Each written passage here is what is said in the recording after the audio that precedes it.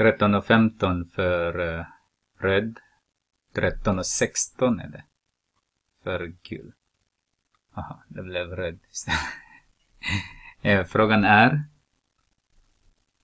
hur stor andel av hela figuren upptar respektive del? Okay. Så A kanske kan vi skriva. Det är en hel. En halv menar jag. Därför att den är halv, den hela, den här är halv. B. Det är en fjärdedel. Så kanske om jag kan göra så här. Så. Ja, inte riktigt, men där är det. Så delade de i fyra. Så här är det A och A. Så det är en halv. Det här är B, det är därför det är en fjärdedel. C. C halverade de där. Så det betyder att jag måste halvera där också.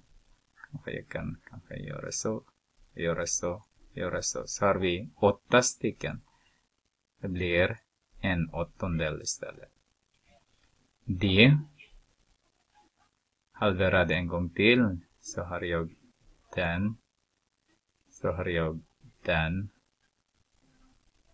Så ser du att det blir fyra stycken av fyra. Då blir det eh, D där då. D och E är likadan. Så RE, de är likadana. Vad blir det? En sextondelar.